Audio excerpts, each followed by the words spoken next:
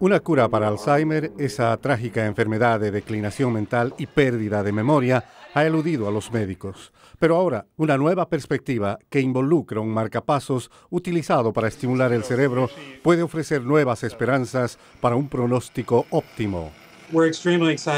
Estamos muy entusiasmados por la cirugía. Lo que esperamos es que podamos mejorar el funcionamiento del paciente por un periodo extendido de tiempo, mucho más de lo que de otra forma podría tener. Medicamentos experimentales han hasta ahora fallado en detener la enfermedad debilitadora, pero la cirugía ha mostrado promesa en Canadá, donde ya ha sido realizada seis veces en pacientes como Robert Linton, quien padece de principios de Alzheimer. Si no me puedo acordar de algo, espero uno, dos o tres segundos y obtengo la respuesta. Funciona de esta manera. El marcapasos es implantado quirúrgicamente en el pecho. Los alambres son colocados debajo de la piel hasta llegar a un lugar profundo en el cerebro para entregar un estímulo eléctrico.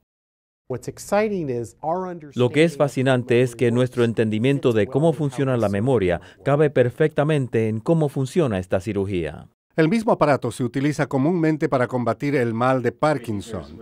El médico de Robert le muestra la diferencia en su escaneo cerebral. Aunque aquí las luces están apagadas, sí hay alguien en casa y podemos volver a encenderlas.